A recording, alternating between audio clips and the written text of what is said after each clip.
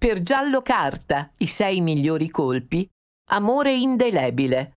Un racconto di Francesca Santi. Legge Luca Violini.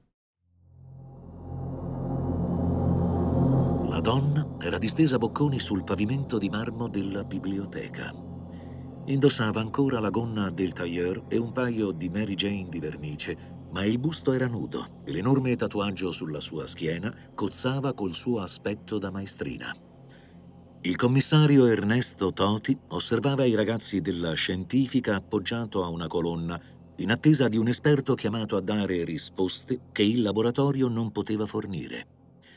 Toti soffriva ogni flash, maledicendosi per aver assecondato il suo oculista ed essersi quasi accecato ficcandosi nelle palle degli occhi le sue prime lenti a contatto in attesa degli occhiali nuovi. Ma nonostante il disagio controllava il portone immogano, aspettandosi che da un momento all'altro si spalancasse per far entrare una petulante psicologa in Chanel. Toti si era già preparato a sorbirsi la solita tiritera sulle maschere che ognuno indossa in società. Perciò fu sorpreso quando a presentarsi fu un ragazzino, con le braccia ricoperte da un intreccio di tatuaggi colorati e uno skate in spalla. Il giovane si accovacciò di fianco alla vittima e iniziò ad annuire come se stesse leggendo una notizia con cui si trovava completamente d'accordo. Il commissario lanciò un'occhiata a Licia Catalano, il nuovo acquisto della squadra mobile, che girava per la biblioteca come una trottola, facendo svolazzare la sua lunga coda di cavallo. Torchiava tutti i presenti, trascrivendo sul suo block notes ogni informazione con una pignoleria maniacale. Toti sorrise.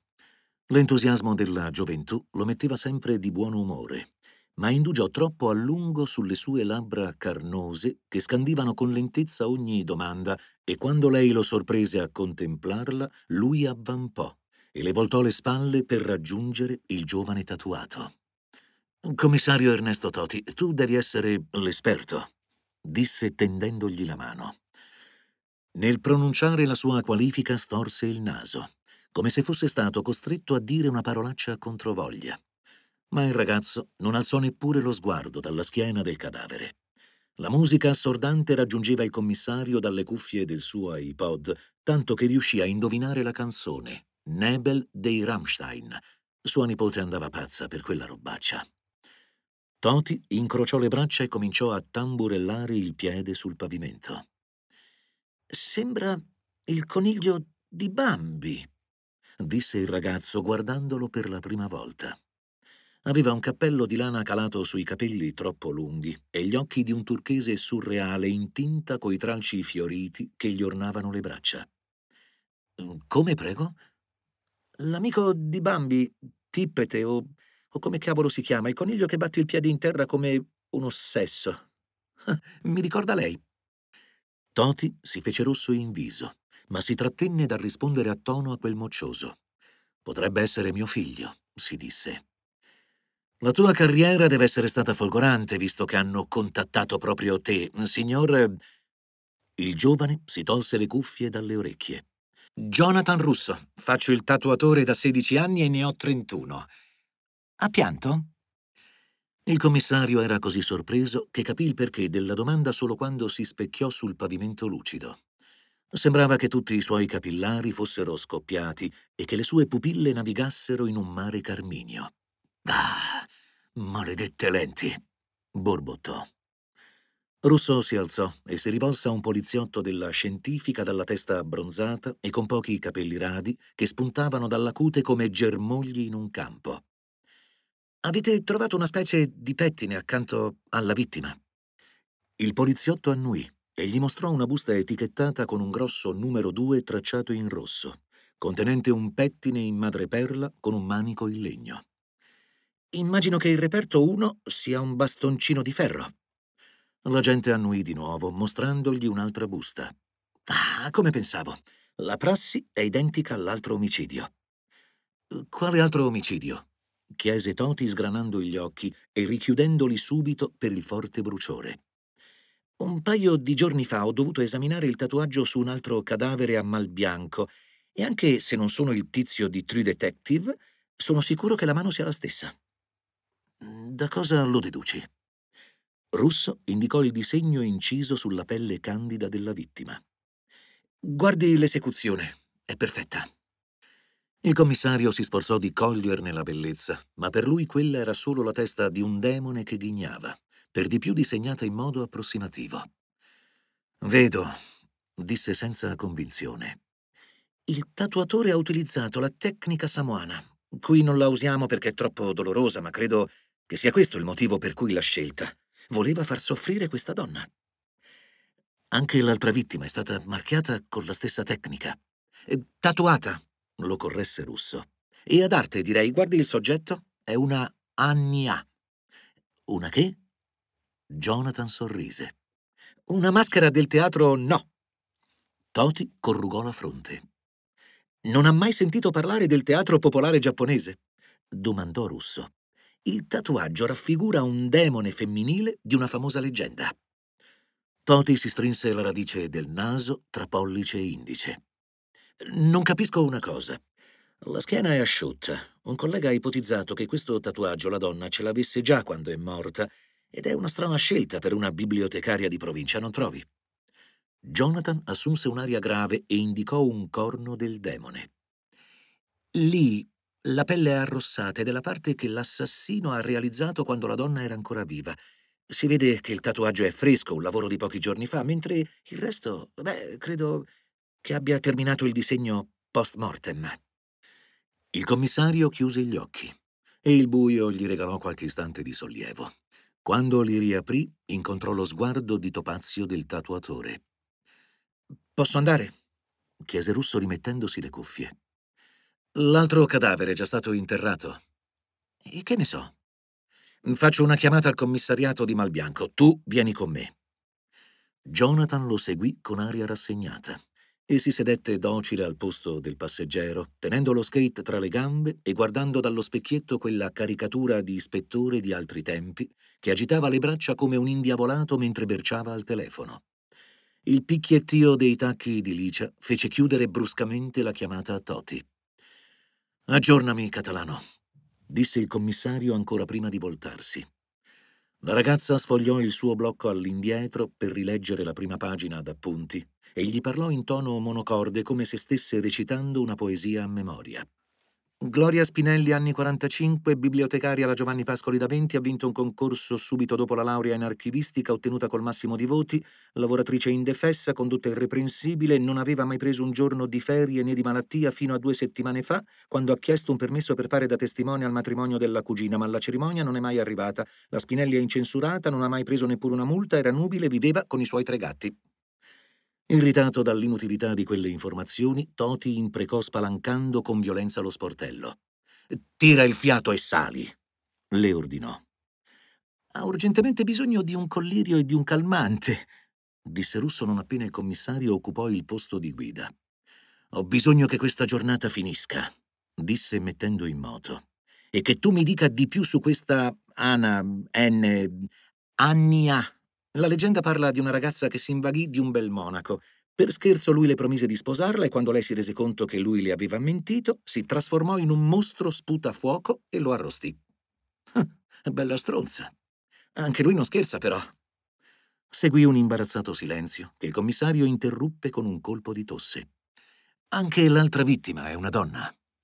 No, un panzone 55enne che vendeva aspirapolveri a porta a porta. Perché tanto astio? È mio padre. Toti inchiodò. E sei stato chiamato tu come esperto, sei un familiare.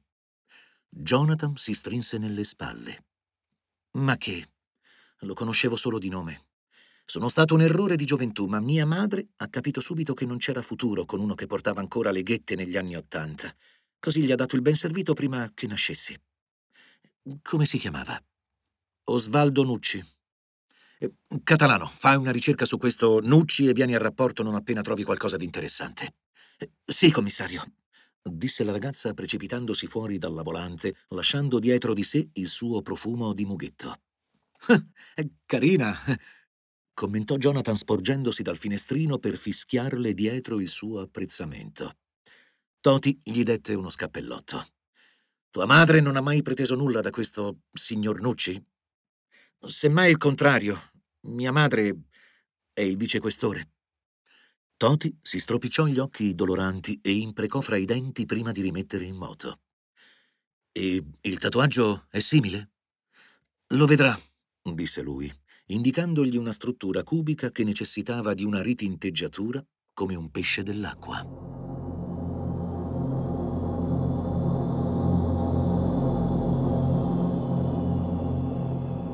Il medico legale li aspettava sulla porta con un'espressione da pitbull a digiuno. Grugnì un saluto e si avviò per un lungo corridoio che portava a una stanza con un lettino di metallo occupato da un corpo e cinque celle frigorifere. È lui? chiese l'ispettore, indicando i piedi callosi che spuntavano da sotto il lenzuolo giallognolo che aderiva al corpo del cadavere come un sudario. No, mm, è lui, rispose il medico aprendo la prima cella in basso a sinistra. L'uomo era supino, aveva gli occhi sbarrati e la bocca spalancata, tanto che Toti non si sarebbe meravigliato che si fosse messo a gridare. Aveva basette lunghe e folte, oltre a un paio di baffoni che sarebbero stati fuori moda anche trent'anni prima. E la sua pancia sembrava quella di una gestante al nono mese, prominente, liscia, dura, ma tatuata. Toti si portò una mano alla bocca. La tarantola che gli copriva il ventre era così realistica che gli sembrava di distinguere ogni pelo sul suo dorso.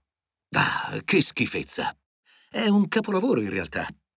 E cosa sta a significare? Eh, bah, pazienza, astuzia. Questo è Iktomi, il demone dell'inganno secondo i Lakota, ma il ragno è anche un predatore spietato che paralizza la vittima e la divora da viva. Non c'è un significato univoco. Il medico ricacciò il morto nel buio della cella. Avete finito, disse. Un'affermazione, non una domanda. I tre percorsero in fila indiana lo stretto corridoio e una volta fuori Jonathan si infilò le cuffie, posò lo skate a terra e disse «Ci vediamo, gente!» Il commissario e il medico lo seguirono con lo sguardo finché non sparì dietro la prima curva. «L'esperto!» esclamarono in coro.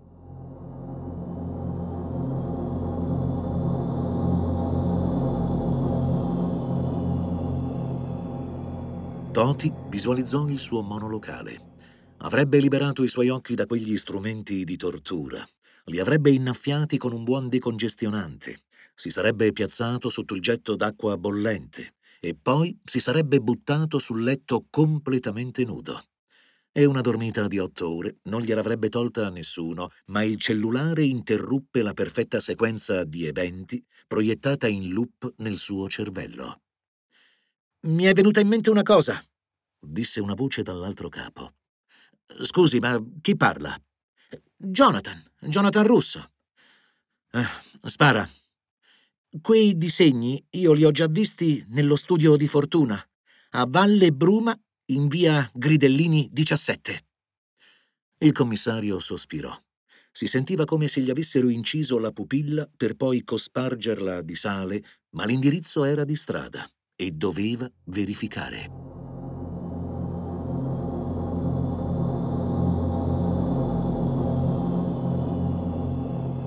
Toti guidò a occhi stretti.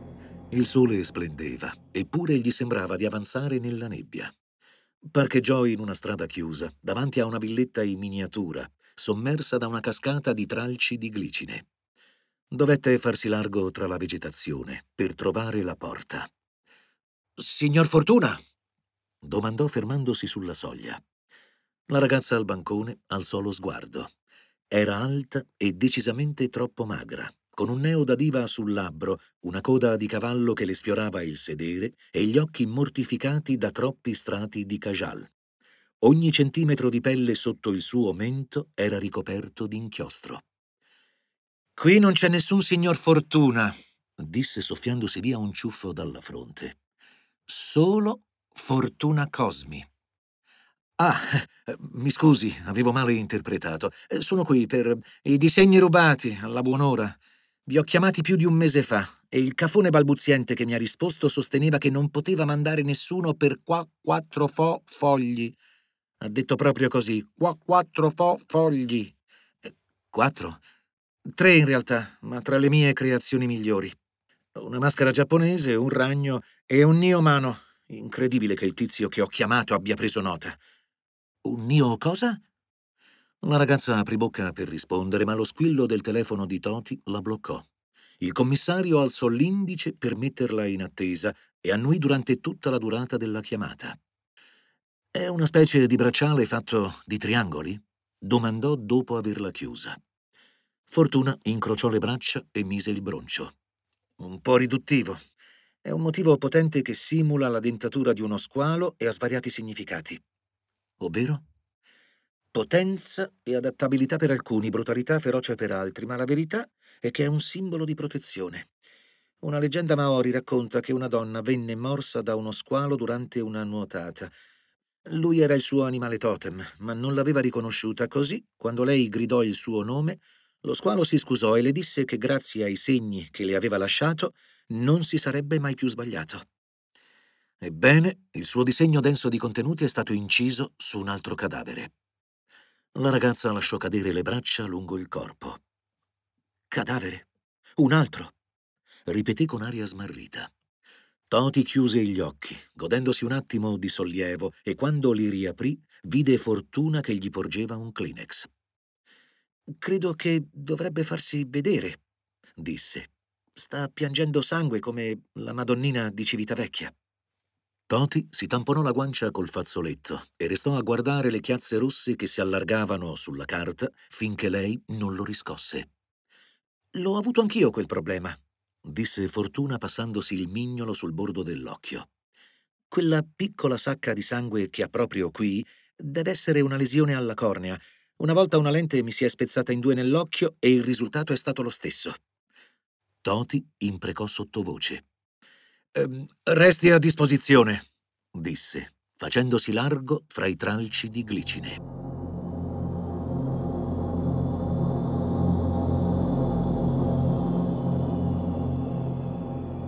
Non appena salì in macchina, il commissario si guardò nello specchietto e sospirò alla vista dei suoi occhi di brace, così gonfi che sembravano sul punto di scoppiare.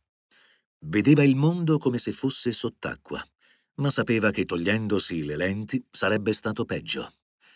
Era una talpa senza i suoi occhiali e i suoi occhiali nuovi non sarebbero stati pronti prima di lunedì. Partì a razzo verso la scuola elementare di Calle Nebula, dove una maestra era stata assassinata con le stesse modalità delle altre due vittime. Stavolta il cadavere era girato su un fianco e una fila di denti di squalo sembrava azzannargli la pelle. La donna indossava ancora una lunga gonna morbida e un paio di francesine, ma era nuda dall'ombelico in su. Toti le girò attorno, mentre i flash della scientifica gli tormentavano gli occhi agonizzanti, e pensò che quella signora era il classico tipo che ti dimentichi subito, un po' come la bibliotecaria. Si vergognò di quell'analisi, e ancor più quando il suo sguardo incontrò il notevole posteriore del catalano china su un bambino singhiozzante. Il commissario si passò una mano sul volto stanco e quando riaprì gli occhi, Licia si trovava proprio di fronte a lui. Il bambino stava uscendo accompagnato da un altro agente che dava loro le spalle. Sta bene, commissario. I suoi occhi fanno impressione. Lui annuì. Staranno meglio quando mi toglierò queste maledette lenti. Eh, sai dirmi qualcosa su Nucci e sulla maestra? La ragazza annuì. Osvaldo Nucci ha fatto il commesso viaggiatore per tutta la vita. Ha iniziato vendendo enciclopedie, poi macchine del caffè e infine aspirapolveri. Era un tipo tranquillo, l'unico screzio con la giustizia l'ha avuto col nostro vicequestore. La Russo ha emesso un provvedimento restrittivo nei suoi confronti a inizio carriera e lui l'ha sempre rispettato. Nucci si è sposato qualche anno dopo con una certa Rosa Sarri, ma è rimasto vedovo presto. La coppia ha avuto tre figli. E la maestra, cosa ha detto il bambino? Licia spogliò rapidamente il blocco e rilesse sottovoce le ultime righe di appunti prima di parlare. Il piccolo non frequenta questa scuola, è il nipote della vittima, tale Chiara Banti, maestra da 40 anni. Sarebbe andata in pensione a fine anno, la figlia è ragazza madre, fa l'avvocato e le lasciava spesso il bambino. Tre persone molto diverse, commentò l'ispettore. Fa un controllo. Un grido spezzò la sua frase a metà e un'elegante signora in tubino e tacchi a spillo si precipitò strillando verso il cadavere. Un agente si frappose fra lei e il corpo e la donna si sciolse in un pianto dirotto sul suo petto. La figlia della vittima, presumo, disse il commissario. La donna alzò gli occhi su di lui. Sono Milena Day. Dov'è Filippo? L'ispettore aggrottò la fronte e ridusse gli occhi doloranti a una fessura. Mio figlio, specificò. Un agente l'ha fatto uscire, disse Toti guardandosi attorno. Dov'è il ragazzino? I poliziotti sulla scena si scambiarono occhiate perplesse. Chi di voi l'ha accompagnato fuori? chiese il commissario spazientito. Un giovane con un marcato strabismo gli rispose balbettando non, no, noi siamo, siamo sem sempre ri rimasti qui. Toti sbarrò gli occhi e corse fuori, ma il parcheggio della scuola era deserto e solo le urla della signora Day lo spinsero a rientrare. L'agente balbuziente aveva aperto uno sgabuzzino, trovando un suo collega nudo e col collo spezzato. Ha preso il bambino! sussurrò Licia incapace di staccare lo sguardo dal morto. La signora Day svenne tra le braccia del poliziotto che la stava trattenendo e Toti desiderò emularla, sentendosi perso per la prima volta nella sua carriera. Il mondo attorno si dissolse nella nebbia che gli offuscava la vista, poi la Catalano gli strinse le dita e il peggio passò. Il bidello ha visto un uomo in divisa salire su una Wrangler gialla. Ha detto che la targa era coperta da un adesivo, ma ha visto dove era diretta, verso Campo Cinerino gli disse.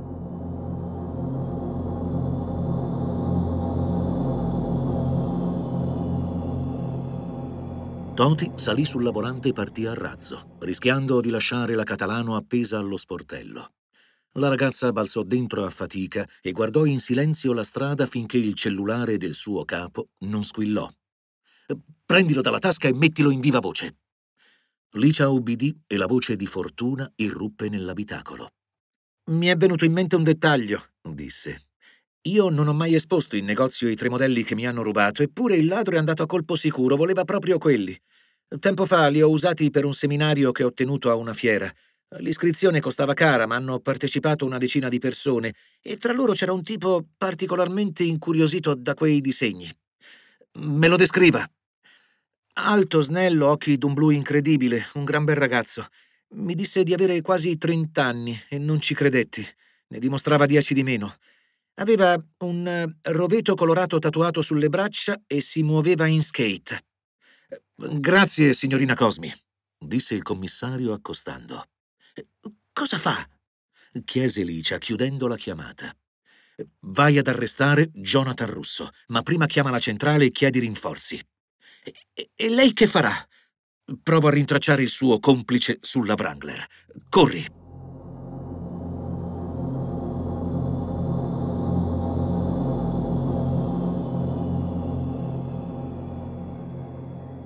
La ragazza ubbidì e Toti ripartì a manetta, con le mani strette sul volante e la sensazione di aver appena nuotato in una vasca di sapone a occhi aperti. Il commissario percorse chilometri di strade deserte e all'imbrunire finalmente rinunciò. Campo Cinerino era alle sue spalle da una mezz'ora e della jeep non c'era nessuna traccia. Toti posò la fronte sul volante e chiuse gli occhi. Solo per un momento, si disse, ma un potente colpo di clacson lo fece sobbalzare sul sedile. Ci mise qualche istante a capire che era stato lui a premerlo dopo essersi addormentato. Il commissario guardò il cielo cobalto attraverso gli occhi umidi, poi restò a fissare la spia lampeggiante del telefono qualche istante prima di decidersi ad ascoltare il messaggio in segreteria. Era di Licia. La Wrangler è qui, commissario. Il bambino non c'è e il russo è morto.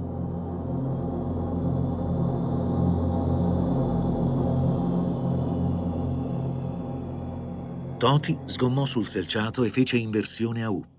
La Catalano gli aveva inviato il messaggio un'ora prima, dunque i ragazzi della scientifica dovevano essere già all'opera.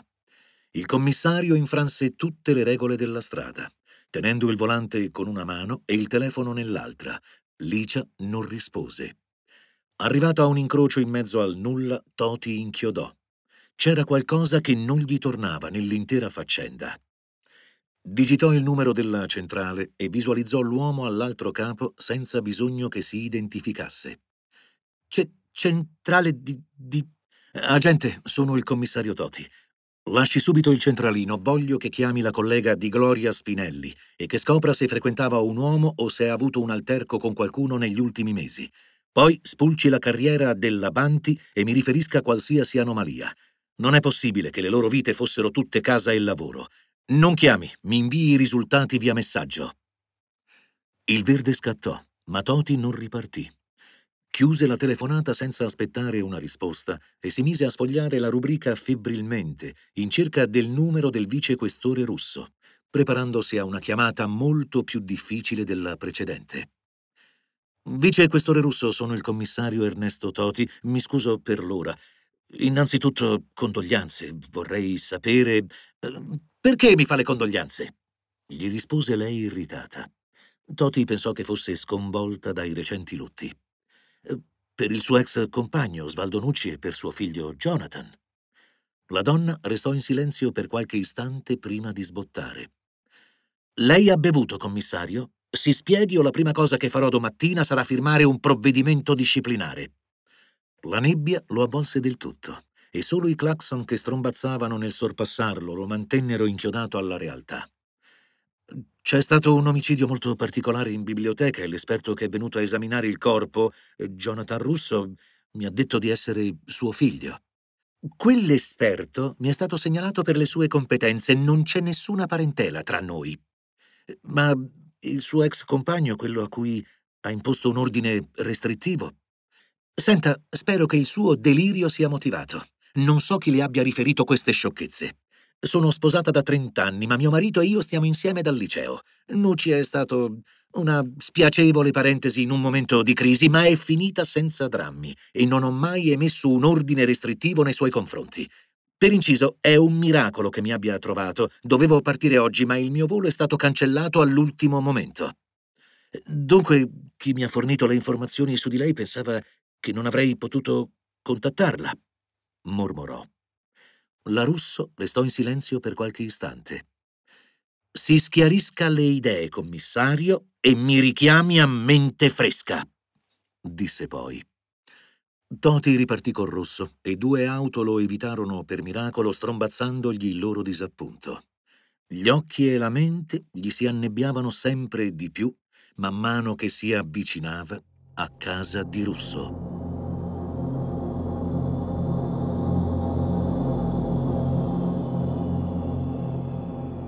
Si aspettò di trovare un delirio nel vialetto, ma c'era solo un'auto parcheggiata davanti al portone. La Wrangler gialla, che cozzava con l'austero condominio grigio dove il sospettato abitava. Toti controllò i campanelli, ma non trovò nessun russo.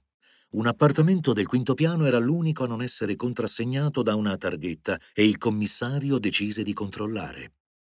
L'ascensore era fuori servizio, così l'uomo si apprestò ad affrontare la scalata, incespicando a ogni scalino a causa degli occhi sempre più velati. Il bip bip del telefono lo raggiunse proprio davanti alla porta dell'appartamento anonimo. Gloria Spinelli, lite con giovane donna con cappello e occhiali scuri, oggetto l'ossessione della defunta per l'uomo dell'altra, Chiara Banti vent'anni fa ha fatto espellere un ragazzino per abusi su una compagna. Le aveva inciso a penna le sue iniziali sulla pelle. Toti ebbe giusto il tempo di sorprendersi per la precisione e la chiarezza del suo goffo subalterno prima che il grigio virasse in nero e la sua bocca assaggiasse il tappetino di benvenuto davanti alla porta della presunta vittima. Quando il commissario tentò di riaprire gli occhi, una fitta lo costrinse a sollevare le palpebre con cautela e non si sorprese più di tanto di trovare la Catalano seminuda in braccio al suo esperto. Hai una bella cera per essere morto, Russo, o qualunque sia il tuo nome, disse Toti. Il ragazzo rise. Lo cambio spesso da quando la stronza della mia maestra mi ha fatto sentire un criminale a undici anni Puoi chiamarci ancora Jonathan e Licia comunque. Ci stanno a pennello queste identità. Hai seviziato una bimba. Seviziato, che parolone! Esclamò Licia sollevandosi il baby doll e mostrandogli due lettere tatuate sulla coscia. Nessuno ha chiesto il mio parere, avrei detto che lo volevo. I due innamorati si scambiarono un lungo bacio e per un attimo il commissario temette che volessero spingersi oltre.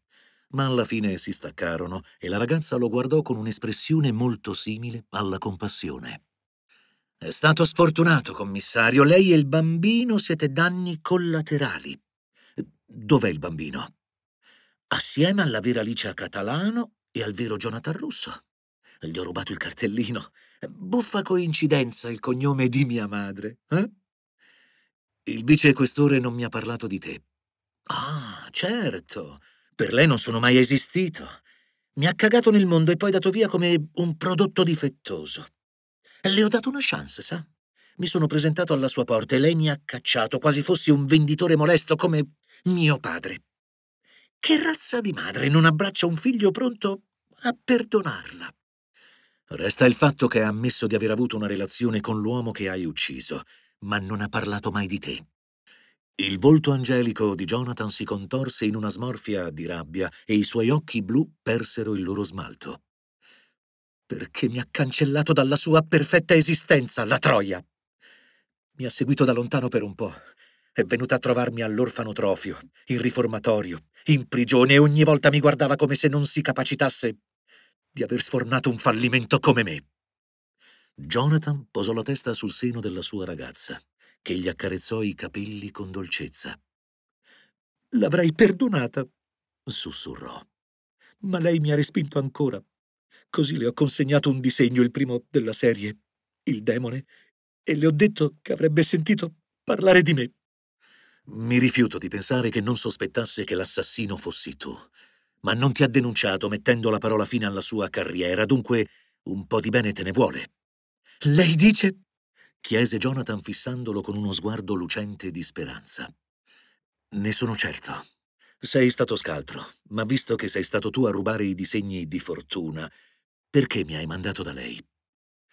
Speravo che la considerasse una sospettata, ma lei è più sveglio di quanto sembra.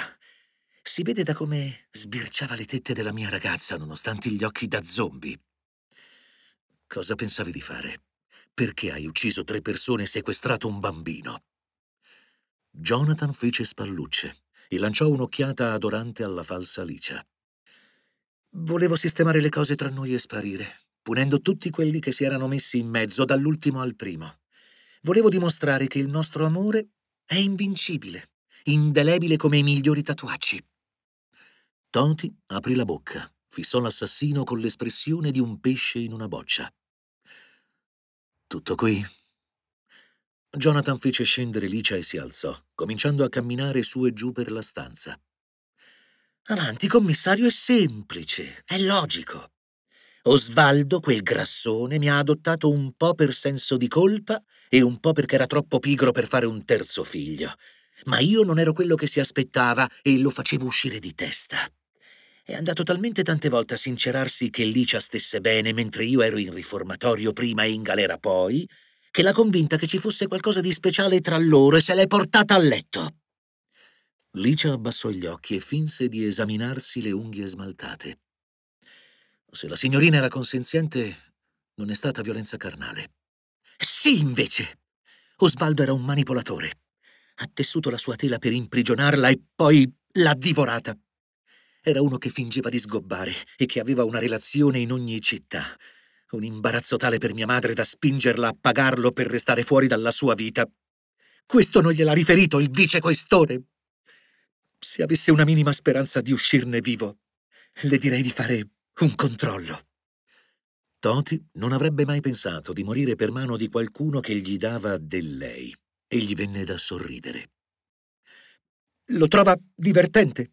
Lui ha plagiato la mia piccola, ma lei l'ha capito non appena mi ha rivisto continuò Jonathan accarezzandole la coscia. E la bibliotecaria? chiese Toti. Gloria faceva volontariato in prigione. Abbiamo avuto una storia e lei non voleva rassegnarsi al fatto che fosse finita. Ho dovuto rassicurare Licia, dimostrarle che per me era stato solo uno sfogo. Per la maestra non c'è bisogno di spiegazioni, ci ha separati. Intervenne la ragazza, e si è accanita contro di lui, inventandosi accuse false affinché gli aumentassero la pena. Gli ha strappato a morsi la vita. Resta mia madre, concluse Jonathan. Volevo risparmiarla, ma non mi ha lasciato scelta. È stata lei a rendermi ciò che sono e non ha voluto rimediare. Avrò bisogno di un altro disegno. Lo ruberemo a fortuna più tardi, disse Alicia. Dobbiamo eliminare anche lei. Si è ricordata di te. Uff, allora sono tre i danni collaterali. Lei non doveva capire, commissario. Il bambino non doveva riconoscere l'ex allieva della nonna che era andata a trovarla spesso negli ultimi tempi per conquistare la sua fiducia. Disse Jonathan dando un buffetto a Alicia. E fortuna non avrebbe dovuto ricordarsi la tua faccia, ma se tutto fosse filato liscio, cosa avreste fatto? Domandò Toti. C'è bisogno di chiederlo? Saremmo spariti, liberi dai nostri fardelli, e voi avreste avuto la vostra colpevole. Avevo nascosto un bel po' di prove nel laboratorio di fortuna. Ah, tempo sprecato. Toti non ebbe cuore di dirgli che il loro piano era una bagnarola che faceva acqua da tutte le parti e che presto sarebbe affondata. Si agitò sulla sedia, sfregando il nastro adesivo che gli bloccava i polsi contro una scheggiatura sullo schienale. Jonathan afferrò un pesante fermacarte sulla scrivania e se lo rigirò fra le mani. Era una grossa roccia di ametista che dopo un'attenta analisi ritenne adatta al suo proposito. Il ragazzo alzò il braccio per sferrare il colpo, ma il commissario riuscì a spostare il peso su un fianco e a evitarlo cadendo. Il nastro si spezzò e Toti schizzò verso la porta. Licia gli fu addosso in un baleno, ma lui se la scrollò dalle spalle, scuotendosi come un cane bagnato, e arrancò alla cieca fino al bagno, dove si rinchiuse a doppia mandata. Prendi il martello! gridò Jonathan. Il commissario poggiò entrambe le mani sull'unica barriera che lo divideva dall'assassino e prese fiato. Ma dovette subito coprirsi la bocca per proteggersi dal fetore che aleggiava nella stanza. Gettò un'occhiata alla vasca e trattenne a stento un conato di vomito. Due corpi gonfi galleggiavano in un'acqua ormai verdastra e il loro sguardo opaco e accusatorio lo spinse a indietreggiare. Toti andò a sbattere contro la cesta dei panni che rotolò fino alla porta, sputando fuori un bambino avvolto negli asciugamani sporchi. Le lacrime che sgorgarono dagli occhi di Toti furono come due pugnalate nei bulbi oculari, ma il dolore gli divenne sopportabile non appena il piccolo si mosse e cominciò a frignare. Vieni qui, piccolo, ti proteggo io. Ti chiami Filippo, vero? disse tendendogli le braccia. Il bambino gattonò fino a lui e si rannicchiò in un angolo mettendosi il pollice in bocca. Toti decise che di quella regressione da shock si sarebbero occupati gli psichiatri e che il suo compito fosse solo quello di mantenerlo in vita affinché non mancasse una seduta. Il commissario si guardò attorno in cerca di qualcosa da utilizzare come arma. Frugò nel mobiletto sotto il lavandino e nella credenza dietro lo specchio, mentre i colpi di martello si facevano via via più decisi e alla fine trovò qualcosa che faceva al caso suo. Un bastoncino di metallo, come quello che Jonathan usava per tatuare le sue vittime con la più dolorosa tra le tecniche esistenti. Toti lo impugnò e attese davanti alla porta. La serratura saltò la porta si aprì e Jonathan levò il martello sopra la sua testa. Ma una frazione di secondo prima che potesse assestare il colpo, il commissario gli trafisse un occhio con l'arma del delitto. Licia gridò così forte da fargli vibrare i timpani e si chinò sul corpo esanime del suo ragazzo per raccogliere il martello. Fu così rapida che Toti ebbe solo il tempo di alzare le mani per proteggersi il volto, ma due spari rimbombarono nella stanza e la ragazza restò immobile per un istante prima di cadere sul corpo del suo amato. La stanza ormai era una massa nebulosa per il commissario, ma una voce inconfondibile gli rivelò l'identità del suo salvatore.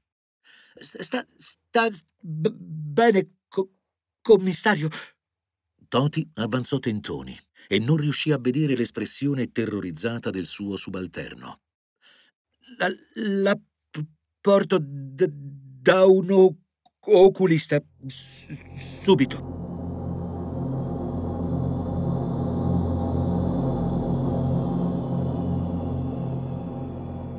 La lente si è spezzata in quattro frammenti nell'occhio destro e in tre nel sinistro, dichiarò l'oftalmologo esaminando il fondo dell'occhio.